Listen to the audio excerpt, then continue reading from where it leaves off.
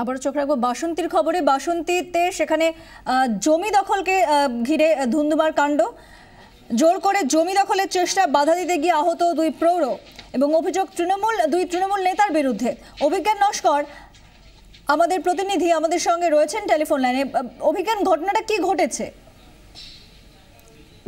প্রশ্নটা আরও একবার করবে? অভিজ্ঞান ঘটনাটা কি ঘটেছে? জমি দখল করতে গিয়ে দুই প্রৌঢ় তারা আহত হয়েছেন। কি কীভাবে হলো এই ঘটনা?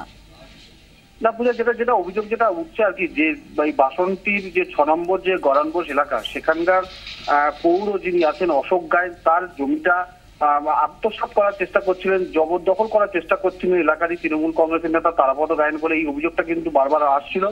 এবং গতকাল এই ঘটনা যখন আরও একবার চেষ্টা যখন করা হয়, তখন মূলত এই যে অশোক গায়েন তার যথেষ্ট বয়স হয়েছে এবং তার অপর যে সঙ্গী রয়েছে রোহিত মন্ডল, তারা বিষয়টা প্রতিবাদ করেন এবং প্রতিবাদ করা মাত্রই কিন্তু মূলত দুজনকে মারধর করা হয় বলে অভিযোগ এবং রাস্তায় ফেলে পেটানো হয় এবং রক্তাক্ত অবস্থা তাদেরকে দুজনকে বাসন্তী হসপিটালে তাদেরকে চিকিৎসার জন্য আনা হয় এবং তারপরেই বাসন্তী থানাতে অভিযুক্ত নেতার বিরুদ্ধে কমপ্লেনও করা হয়েছে।